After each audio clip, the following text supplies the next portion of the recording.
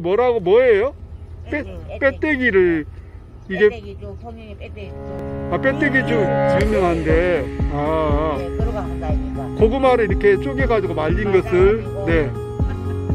제 빼떼기라고 보이나 제로 있어 아 채로 했으니까 채 빼떼기. 응. 아, 뜯어 해놓은 거 아, 나 이거 처음 보네 이게. 빼떼기 죽은 내가 알아고 네. 이런 것을 해놨다가. 네, 응. 빼떼기 좋아하니까. 아하 이거가 빼떼기 죽이에요? 삶으면 응. 빼떼기 됩니다 아 저게 솥에다 가마솥에다가 네. 그 끓이면은 쳤어 원료가 빼떼기 좀 올려라 어, 여러분들 아셨죠? 이게 어, 여기만의 어떤 새로운 먹거리 음식 빼떼기 죽이라 해서 나는 그게 뭔가 했는데 나중에 고구마 채로 쓸어서 한 것을 빼떼기라고 하는데 그것을 어, 죽을 끓이면 진짜 맛있어요. 물론 팥도 들어가고 하면 여기서는 슈거 먹는 저 전통 음식 이런 거예요. 그래서 여러분들은 지금 저 해녀 모습을 보시잖아요. 아주 기- 진기한 모습. 우리 교과서에다 보는 그런 해녀가 제 이곳에서는 자연스럽게 볼 수 있는 곳이에요. 저기서 해녀가 이제 전복도 건지고 소라도 건지고 이렇게 하시는 거예요.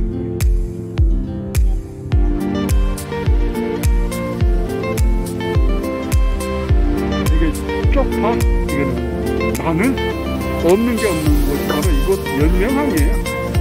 진짜 이거 미나리 싱싱하다. 이게 돌미나리인가요?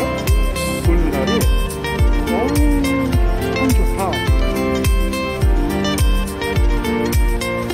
이건 방풍나물이에요, 방풍나물. 풍에 걸리지 않는다고 그래서 방풍나물이라고 하는데요.